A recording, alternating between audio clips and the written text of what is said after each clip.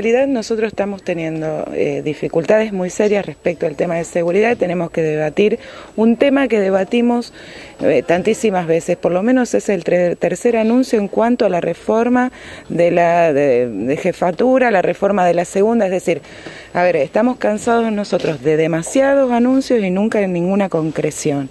Entonces, la única concreción posible es que los tiempos judiciales, porque la provincia ha sido condenada y tiene que reformar la alcaldía local, es el único apuro. Atrás de todo eso, un dibujo de cómo debería ser eh, nuestra situación aquí. Mientras tanto, como decían mis compañeros, tenemos una cárcel o una pretensión de tener una cárcel metida en la ciudad. Lo que era OFIN, ex OFIN, detiene en primera instancia, cruza la calle y ya está detenido.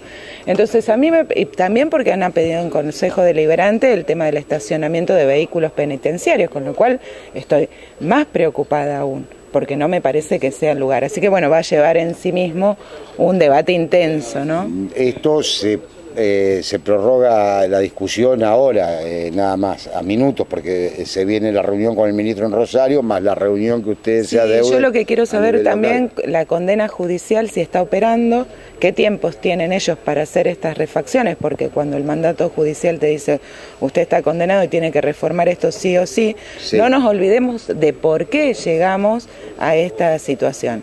Y amén de tener noticias de todas las localidades cercanas que han intentado lo mismo con un conflicto bastante grande.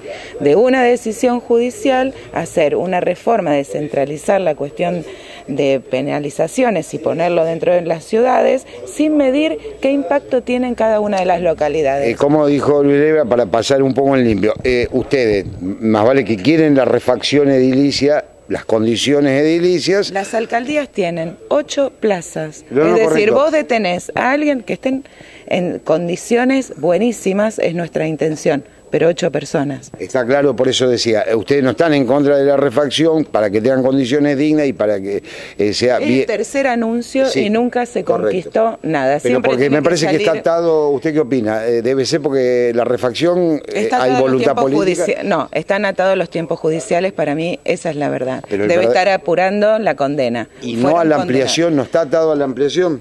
a ver, política? en realidad la condena es la, refacción de los lugares en condiciones para los presos y demás, esa es.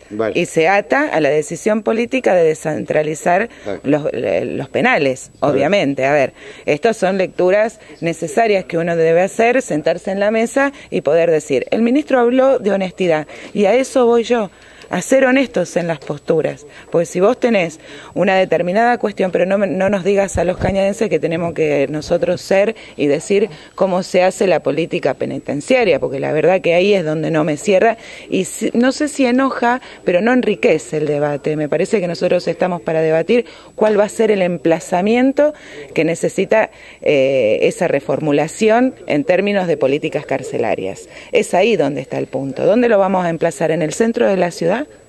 Esa es la pregunta. Nosotros tomamos ya desde el Consejo y hace tiempo las prevenciones necesarias. Ya existe una ordenanza donde prohíbe la erradicación y donde prohíbe cualquier tipo de refacción. ¿Por qué? Porque nos anticipamos a esta cuestión. Ahora, ¿sirve solamente eso o nos tenemos que poner todos los actores sociales que conformamos la mesa de, la comisión para poder debatirlo profundamente? Le decía recién y lo hablaba con tanto con Luis eh, como con la gente del centro económico que necesitamos estar en permanente asamblea. Esto es permanente asamblea porque obviamente que es un tema que es complicado. En el norte solo pedíamos un destacamento policial solo un destacamento, no el traslado de la unidad regional. Entonces me parece que el traslado de la unidad regional también implica otras cosas. Vos sabés que donde hoy está la unidad regional con la primera fuerza de choque, que es el comando radioeléctrico. El jefe recién me decía, el lunes nos juntamos para hablar de esto, por supuesto, ya tenemos a primera hora, después les vamos a decir, reunión con el jefe, con todos los bancos rodeando, y son temas que preocupan todos, todos temas que preocupan. ¿Cuándo deberíamos estar hablando?